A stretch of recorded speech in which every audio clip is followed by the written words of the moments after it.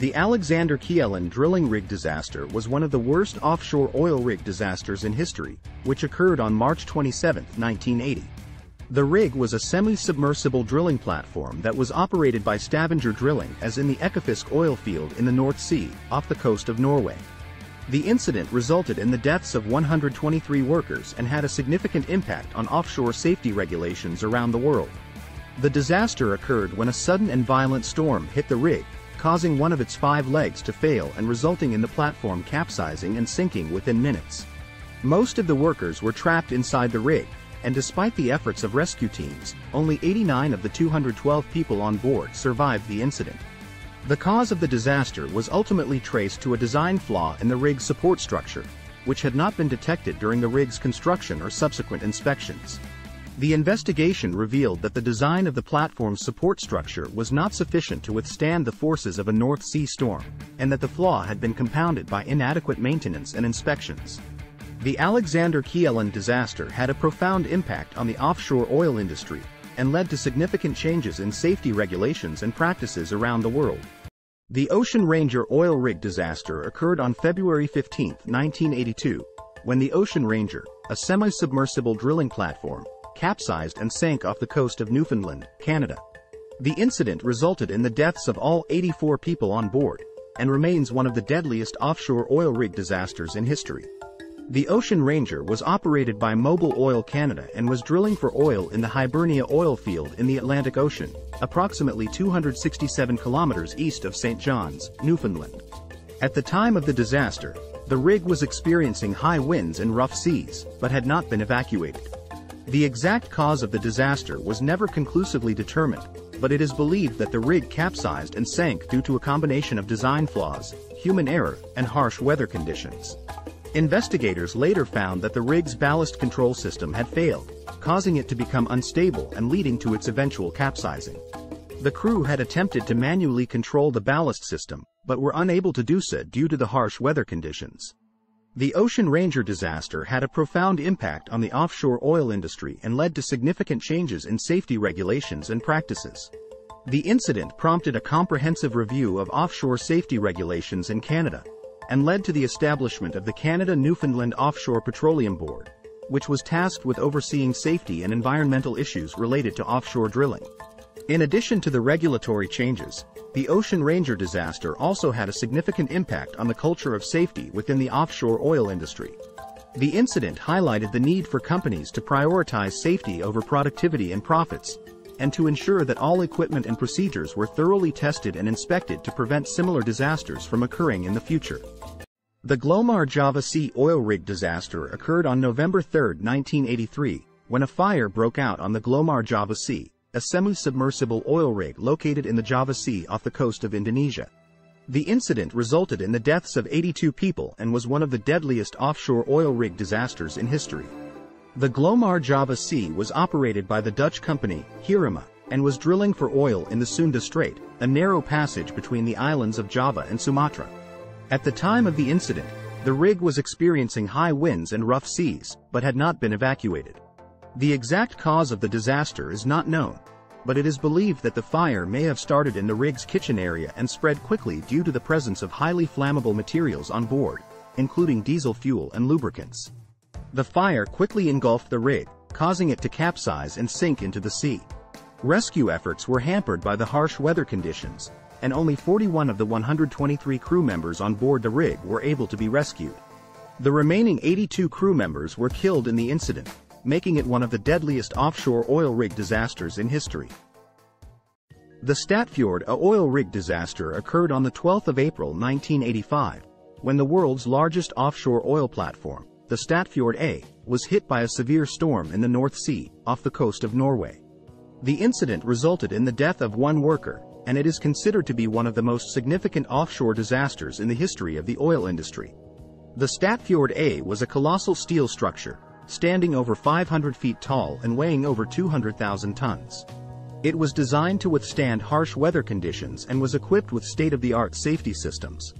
However, on the day of the disaster, the rig was hit by a powerful storm, with waves reaching as high as 40 feet. The storm caused severe damage to the rig's structure, including the rupture of several ballast tanks and damage to some of the platform's legs. The situation was exacerbated when a supply vessel collided with the platform, causing further damage to the structure.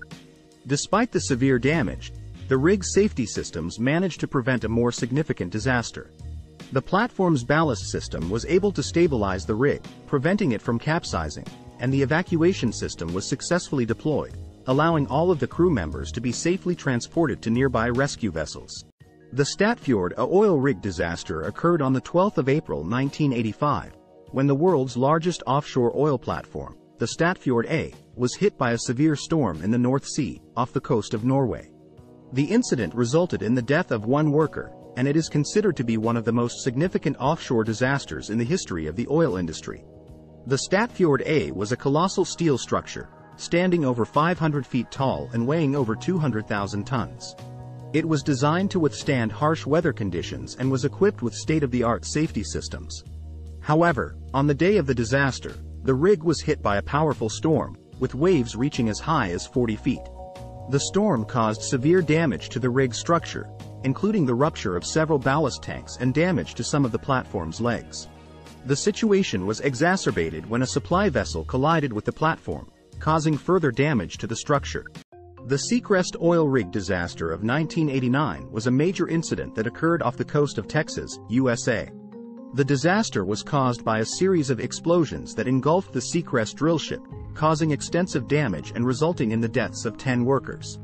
On March 10, 1989, the Seacrest drillship was operating in the Gulf of Mexico when an explosion occurred in the mudroom, located on the ship's deck.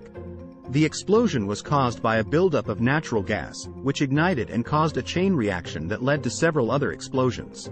The explosions caused significant damage to the ship, and the crew quickly initiated evacuation procedures. The Mumbai High North disaster of 2005 was a major incident that occurred off the coast of India, resulting in the deaths of 22 people and causing significant damage to an offshore oil platform. On July 27, 2005, a major fire broke out on the Mumbai High North oil platform, which was owned and operated by India's state-owned oil and gas company, Oil and Natural Gas Corporation, ONGC. The platform was located in the Arabian Sea, approximately 160 kilometers off the coast of Mumbai. The fire was caused by a gas leak, which occurred due to a ruptured pipeline. The gas leak ignited and quickly spread throughout the platform, causing a massive fire that burned for several hours. The platform was evacuated, but 22 workers were trapped and could not be rescued. The Usumacinta jackup was a drilling platform that was owned by the Mexican oil company, Pemex. The platform was located in the Bay of Campeche, which is a region of the Gulf of Mexico that is known for its high level of oil production. On the day of the disaster, the Usumacinta jackup was being moved to a new location when it suddenly listed and overturned, causing the platform to sink. The cause of the disaster was later determined to be a failure of the ballast system, which caused the platform to lose stability and tip over. The Innovator rig disaster of 2015 was a tragic event that occurred on the 30th of December 2015 in the North Sea, off the coast of Norway. The disaster happened when a semi-submersible drilling rig, the Transocean Winner, ran aground on the Isle of Lewis in Scotland. The Transocean Winner had been on its way from Norway to Malta when it encountered severe weather conditions, causing it to break free from its tow line and drift towards the Scottish coast. Despite efforts to prevent the rig from grounding, it eventually ran aground on the rocky shore of the Isle of Lewis. Thankfully, there were no workers on board the rig at the time of the incident, and no one was injured. The Bohai 2 oil rig disaster of 2011 was an oil spill that occurred on the 4th of June 2011 in the Bohai Sea, off the coast of China. The spill happened when an oil rig, owned by China National Offshore Oil Corporation, CNOOC, leaked oil into the surrounding waters. The oil rig was located in Penglai, in the Bohai Sea, and was operated by ConocoPhillips China, COPC, a subsidiary of ConocoPhillips. The spill occurred as a result of a blowout in one of the wells being drilled by COPC. The spill caused significant damage to the marine environment and the local fishing industry.